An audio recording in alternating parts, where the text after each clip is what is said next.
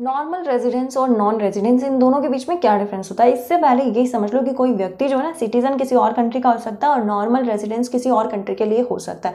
Example के तौर पे अगर कोई जो व्यक्ति है, वो इंडिया का सिटीजन है, लेकिन नॉर्मल रेजिडेंस वो यूएसए का भी हो सकता है। कैसे हो सकता है? अगर उसका इकोनॉमिक इंटरेस्ट उस कंट्री के साथ है, दूसरा वो एक साल या उससे ज़्यादा समय के लिए उस कंट्री के अंदर रह रहा है तो वो सिटीजन तो हुआ इंडिया का, लेकिन नॉर्मल रेजिडेंस किसके लिए हुआ? यूएसए के लिए। अब नॉर्मल रेजिडेंस और नॉन रेजिडेंस इन दोनों के बीच में डिफरेंस को देखते हैं।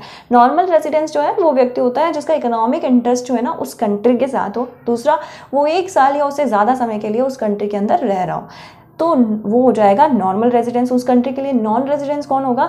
जो एक साल से कम समय के लिए उस कंट्री में रह रहा हो। साथ में उसका इकोनॉमिक इंटरेस्ट उस कंट्री के लिए नहीं, अपनी होम कंट्री के लिए हो। तो वो नॉन रेजिडेंस हो जाएगा। नेशनल इनकम जो है ना, उसमें नॉर्मल रेजिडेंस जो है ना, उनकी इनकम को इंक्लूड किया जाता है। लेकिन नॉन रेजिडेंस जो जो इनकम है, उसको इसमें इंक्लूड नहीं